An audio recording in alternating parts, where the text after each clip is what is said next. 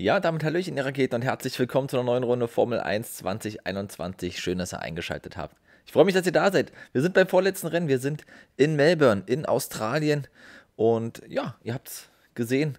Es ist äh, in den letzten Rennen viel passiert. Wir haben ordentlich Punkte gesammelt. Auch in Brasilien konnten wir wieder ein gutes Rennen abliefern und diesmal sogar aus eigener Kraft in die Punkte fahren. Also nicht nur durch eine Strategie nach vorne gespielt werden, sondern wir konnten tatsächlich auf der Strecke einen McLaren überholen, einen Ferrari überholen. Das spiegelt jetzt natürlich noch nicht das Leistungsbild wider, was ich auch hier in Melbourne erwarte, aber es zeigt, dass die Updates in den letzten Rennen gefruchtet haben, dass sie angekommen sind, dass sie funktioniert haben und dass es das Auto weiter nach vorne gebracht hat. Deswegen bin ich ganz zuversichtlich für die letzten beiden Saisonrennen, dass wir zumindest äh, ja, weiter vorne sind im Mittelfeld, also dass wir jetzt nicht zwangshaft nur in die Punkte fahren, sondern dass wir halt äh, zumindest um die Punkte kämpfen können. Das ist, glaube ich, so eine kleine Prognose, die ich dafür habe. Also das ist meine Vermutung. Ich hoffe, dass das so weit funktioniert. Und wir gucken jetzt mal rein, was noch so ein bisschen ansteht, bevor wir dann äh, ins Rennen gehen. Äh, wir gucken mal kurz in die E-Mails. Ich habe hier eine E-Mail bekommen. Äh, wieder aktualisierte Fahrerwerte. Ja, wir passen das wieder auf den aktuellen Spielstand an. Okay, wir gucken in die Forschung und ich habe es eigentlich im letzten Rennen gesagt, ich wusste noch nicht, wann der Forschungsbaum gesaved werden muss. Wir sind jetzt äh, beim letzten Rennen oder beim vorletzten Rennen so weit, dass wir hier ja, Sachen speichern müssen. Wir haben 1200 Ressourcenpunkte. Wir müssen mal gucken, äh, wo wir da reingehen. Ich würde ganz gerne in Richtung Abtrieb gehen, weil ich eigentlich denke, dass der Motor recht gut ist. Und dann ja, sehen wir mal alles, was hier äh, orange oder gelb ist. Das ist ungeschützt und wir sehen es. Umso weiter wir nach unten gehen, umso mehr wird das. Also wir müssen da wirklich ein bisschen äh, gucken, dass wir da jetzt investieren. Und wir gehen auf jeden Fall auch mal rein. Das ist jetzt für die nächsten beiden Rennen wird das der Schwerpunkt sein. Also wir werden das Auto voraussichtlich nicht mehr weiterentwickeln, sondern werden jetzt hier gucken, dass wir die Teile schützen, die uns da noch angezeigt werden. Und da werden wir uns im Schwerpunkt erstmal halt auf die Aerodynamik konzentrieren und dann auf den Antrieb. Auch da ist es eine Menge, was wir schützen müssen aber ich glaube nicht ganz so viel wie im Bereich der Aerodynamik. So, so viel erstmal dazu. Ihr habt es gesehen, wir haben jetzt die ersten Teile geschützt. Wenn wir mal reingucken, wir haben 6,53 Millionen Dollar. 4 Millionen würde ich mindestens gerne für die nächste Saison haben wollen. Und wir gucken mal, wo wir hingehen. Also auch hier die Anerkennung könnten wir vielleicht nochmal mit rein pumpen. Und vielleicht auch die Aktivitätenplanung für spätere Fahrer. Ich würde ganz gerne erstmal auf die Anerkennung gehen, dass wir da ein bisschen mehr kriegen. Das wird ausgebaut. Das sollte dann auch erstmal reichen. Und dann werden wir uns dann ja, für die neue Saison mit dem Geld, was wir hier kriegen, werden wir uns im Bereich äh, Personal ein bisschen verstärken. Wir werden auch ähm, ja, das Triebwerk und die Aero und das Chassis jeweils nochmal um eine Stufe ausbauen mit dem, was wir dann kriegen, aber das geht dann halt erst in Richtung Saisonende. So, wenn wir aktuell nochmal in die Fahrer-WM gucken, dann sehen wir, dass Bottas halt immer noch führt. Ich habe es ja beim letzten Mal auch gesagt, der Weltmeistertitel ist ihm nicht mehr zu nehmen. 353 Punkte im Vergleich zu Lewis Hamilton mit 209 Punkte. Generell könnte man auch das Titelbild von Formel 1 2021 gänzlich neu austauschen. Anstatt vorne Hamilton, Verstappen und Leclerc draufzupacken, könnte man hier auch einfach Bottas, Ricciardo und äh, keine Ahnung, Norris draufpacken, weil diese Teams so, so, stark sind, diese Fahrer, und das irgendwie gar nicht so das widerspiegelt, was aktuell in der Formel 1 so wirklich los ist. Also ja, Norris ist stark und äh, auch Verstappen und so ist stark, aber naja, nicht so stark, dass sie, dass sie aktuell um den Titel da vorne mitkämpfen könnten. So, wir gucken nochmal in die Aktivitätenplanung und werden da schauen, dass wir, jetzt müssen wir mal ganz kurz gucken, ja, wir können die Konzentration vom zweiten Fahrer ruhig nochmal ein bisschen erhöhen. Das dauert nur einen Tag. Wir werden auf jeden Fall auch noch was fürs Team machen und für den Fahrer, für die Anerkennung. Und dann reicht das eigentlich auch. Dann lassen wir einfach mal laufen. Wir gucken nochmal in die Forschung vorher. Und da sehen wir, dass noch vier Updates in der Entwicklung sind. Und zwar also der Kabelbaum, die überarbeitete Bremslufthutze, die äh, Hubdämpfer und äh, ja, die Steuerelektronik in der Strapazierfähigkeit. Ich hoffe, dass das jetzt alles noch dementsprechend kommt. Das sind drei kleine Updates, ein großes, das große halt im Bereich der Strapazierfähigkeit, um da die Steuerelektronik halt ein bisschen ähm, ja, fester zu machen, quasi ein bisschen äh, abnutzungsresistenter zu machen. In der Regel, seht ihr, kommt das im November, 10., 22. und 25. Und wir sehen, wir sind am 8. November mittlerweile, also ja, ein Update kommt jetzt noch und der Rest kommt dann nach Australien, so wie wir es auch im letzten Rennen gesagt und angesprochen haben. Wir lassen jetzt einfach mal durchlaufen. Gucken, ob da jetzt hier noch das ein oder andere fehlschlägt oder ob wir das Update wenigstens kriegen, was kommen soll. Die Marketingabteilung wurde verbessert und wir haben ein Ereignis. Wir wollten das Simulator-Programm für Alliot etwas äh, abwechslungsreicher gestalten und für die heutige Session ein paar Änderungen vornehmen. Worauf sollen wir uns dabei konzentrieren? Auf jeden Fall auf die Rennkunst. Erfahrung kommt von alleine. So, gerne. Na siehst du, dafür bin ich Teamchef. So, wir, wir machen weiter. Okay, die Updates, ihr habt es auch vorhin gemerkt, die sind gekommen. Und sie sollen auch äh, angekommen sein. Das sieht auch gut aus. Der Verlauf zeigt auch, dass wir damit jetzt eventuell sogar gleich sein oder, oder gleich geschaltet sein könnten mit Alfa Romeo. Oder müssen wir mal gucken. Wenn wir dann im Rennen sind, kann ich euch das sagen. Das, ist, das hängt ja immer so einen Ticken hinterher. Aber da gucken wir, ich gebe euch da Bescheid, wenn wir dann im Rennen sind. Und dann war es das jetzt soweit hier aus dem Teamhauptquartier. Wir sehen uns gleich auf der Strecke. Also, let's fetz.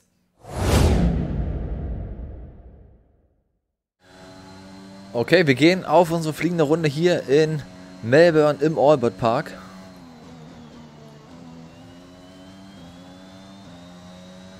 Gucken, wo die Uhr stehen bleibt.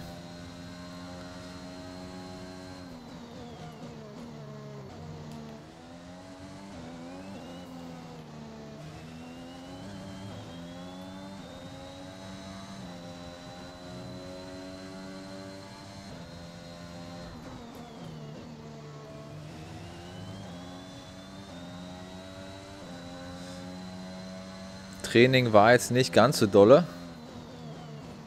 Eher eine sehr durchwachsene Nummer, was das Tempo und den Speed angeht, beziehungsweise generell die Platzierung. KI scheint hier wieder sehr stark zu sein.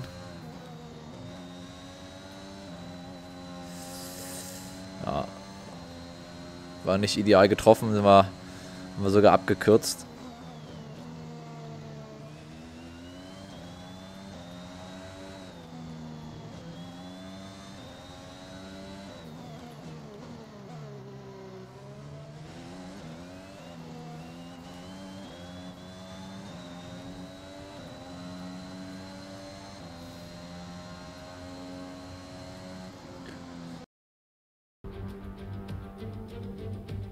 It's race day here in Melbourne as we continue with what could shape up to be one of the best Australian Grand Prix.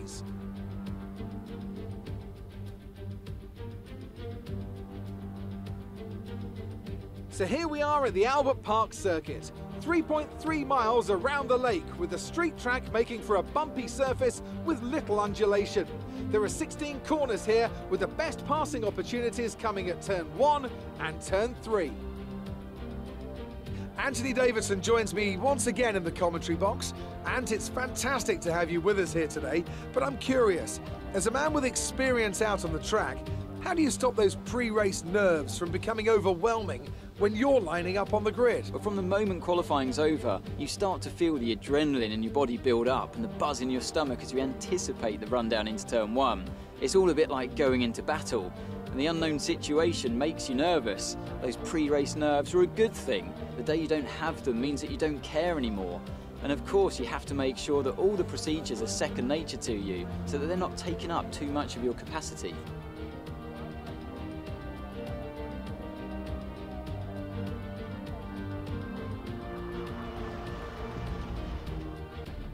It's time to take a look at our starting grid for today's race. Valtteri Bottas lines up on pole position, and Lewis Hamilton completes the front row. Looking at the rest of today's grid, we have Norris, Ricardo, Max Verstappen, and Sainz, Perez, Gasly, Vettel, and Kimi Raikkonen.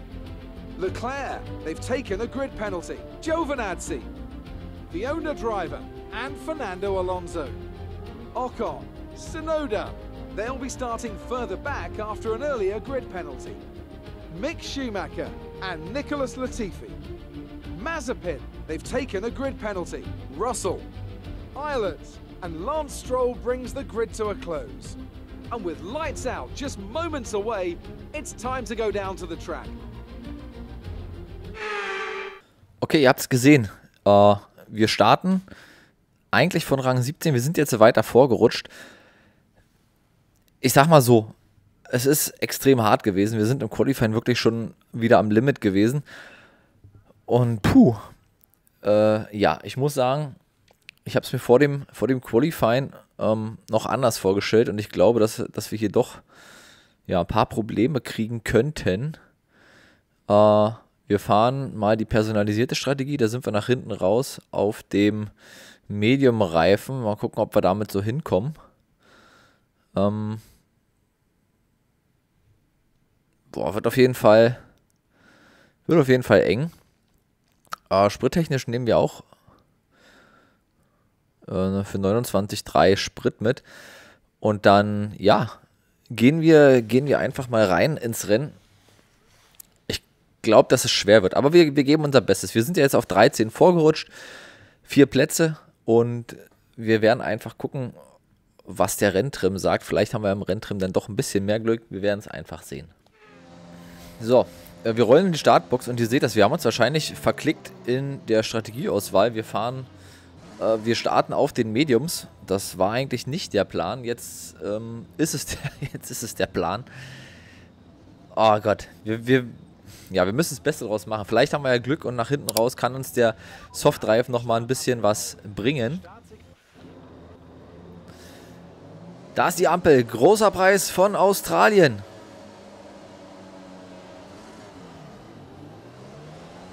Und sich ein guter Start, aber hier, alter Falter. Beide Alpines mit einem Riesenstart, Alonso und Ocon. Und da schießt ein Williams innen rein. So, wir schieben uns wieder auf 14. Ein Platz verloren am Start. Und hier holen wir uns den vielleicht zurück. Und noch einen mehr.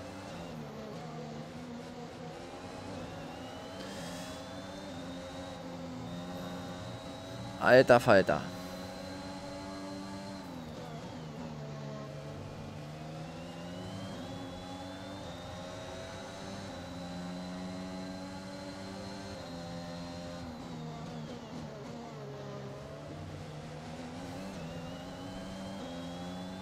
Jetzt müssen wir erstmal gucken, was hier auf dem Medium-Reifen so geht.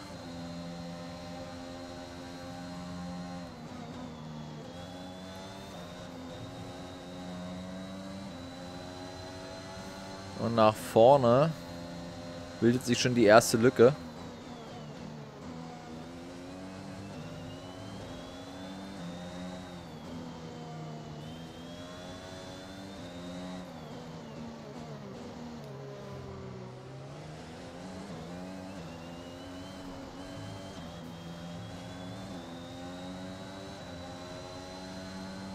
Auch zu Raikön können wir ein bisschen ausbauen.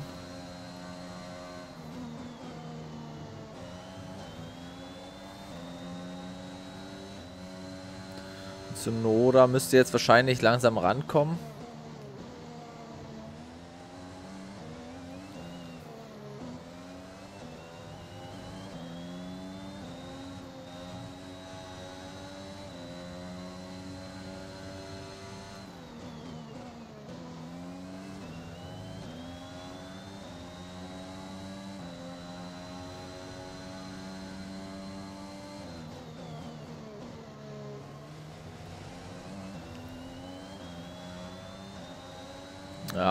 Da kommt er schon.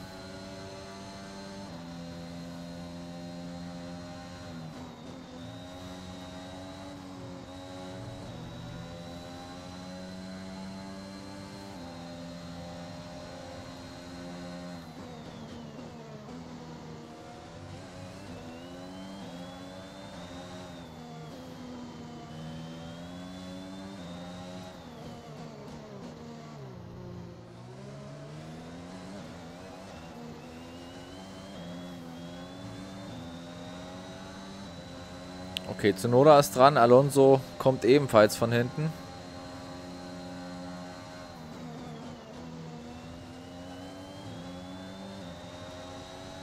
Müssen wir aufpassen. Nach vorne lassen wir jetzt schon ordentlich abreißen.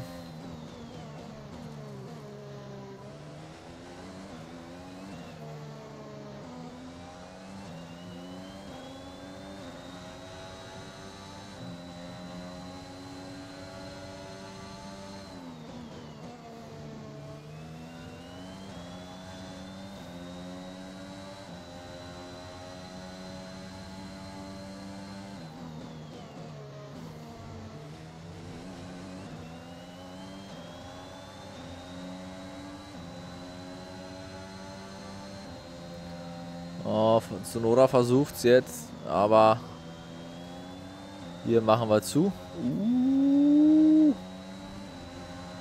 Und dann müssen wir beide vorbeilassen durch den Fehler.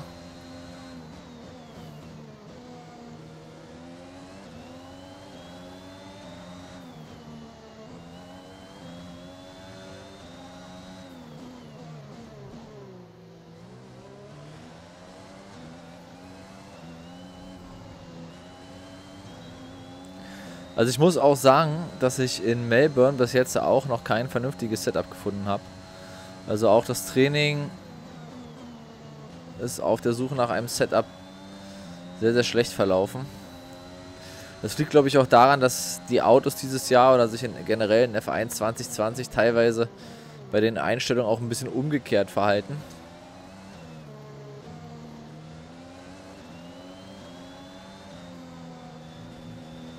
Alonso jetzt vorbei an Tsunoda.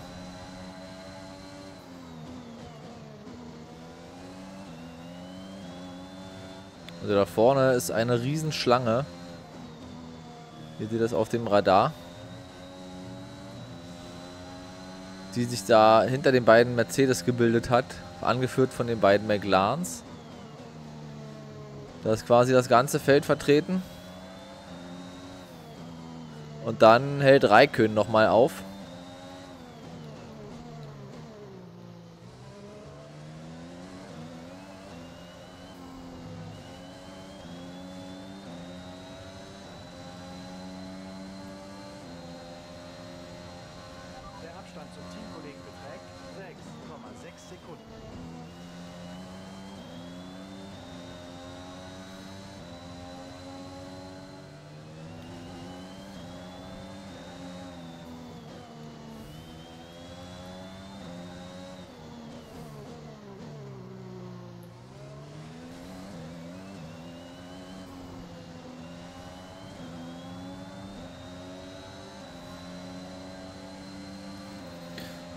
Stroll klebt uns jetzt so dicht hinten dran. Da haben wir auch keine Chance, ey.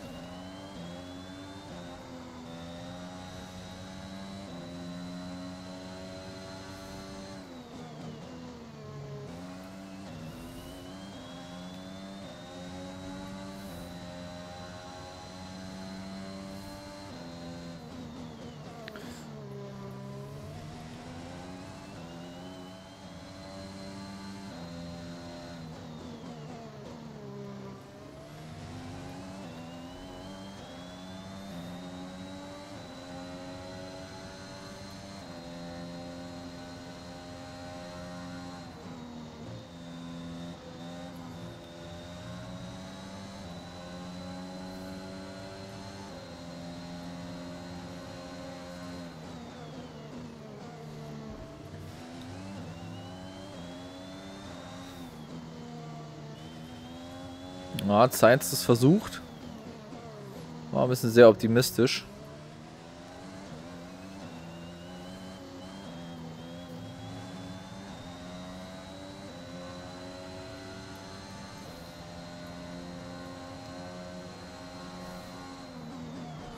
So, die nächste in der Box. Wechseln auf die harten Reifen.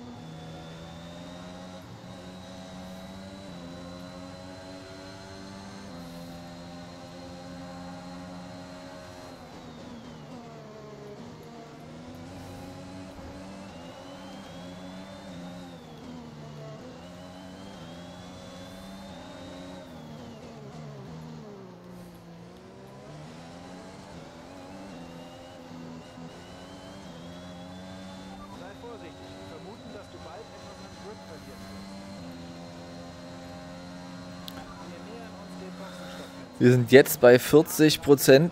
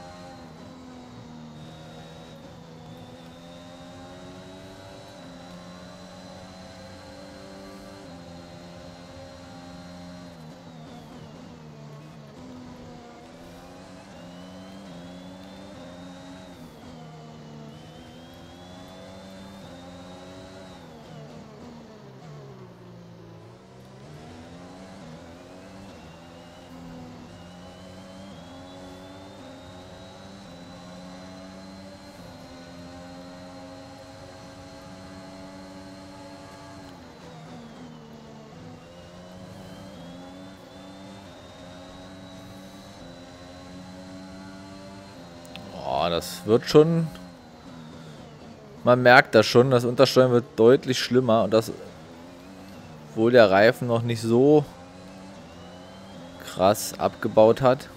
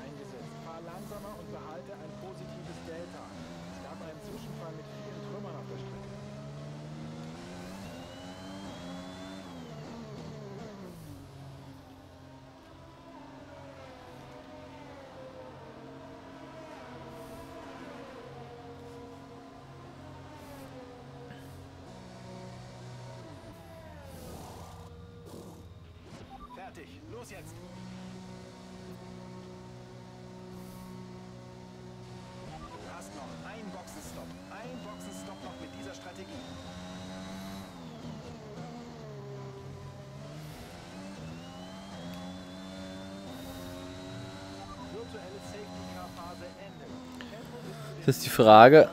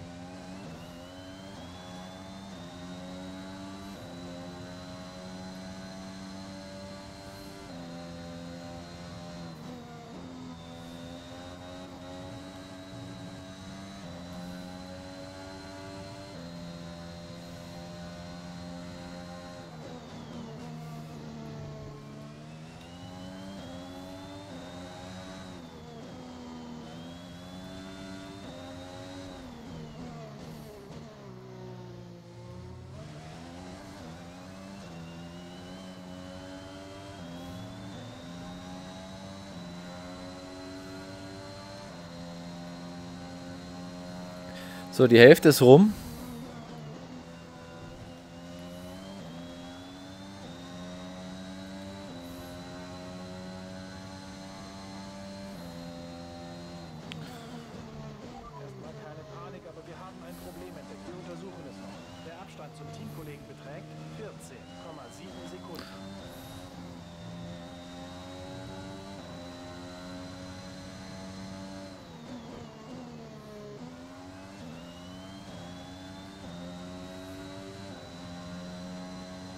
Wir sind wieder ein bisschen im Niemandsland unterwegs.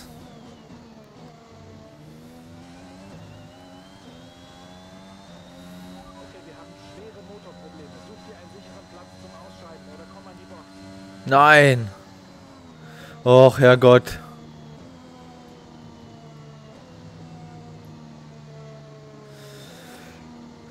Der zweite Motorschaden dieses Jahr. Mhm. Nun gut, Sagen wir es mal so. Es wäre in dem Rennen wahrscheinlich sowieso nichts weitergegangen. Also von daher, ja. Motorschaden. Und wir stellen das Auto ab. Links, links, genau. Da schön in die Auslaufzone. Ach, Herrgott, das gibt's doch nicht.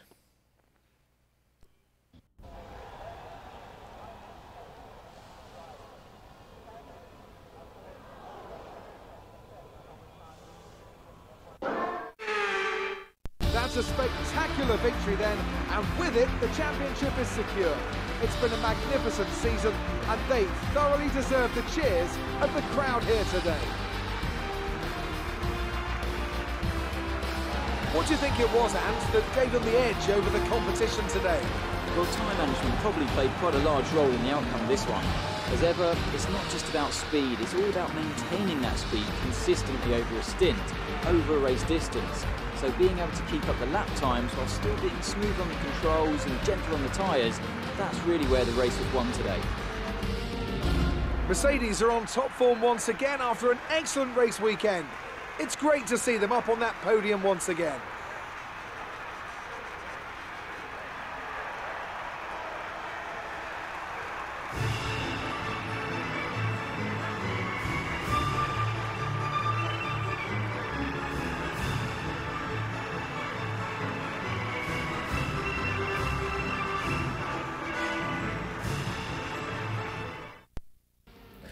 Ja, da seht ihr das, das Endergebnis. Hamilton gewinnt vor Bottas und Max Verstappen. Wir scheiden das zweite Mal in dieser Saison mit einem Motorschaden aus.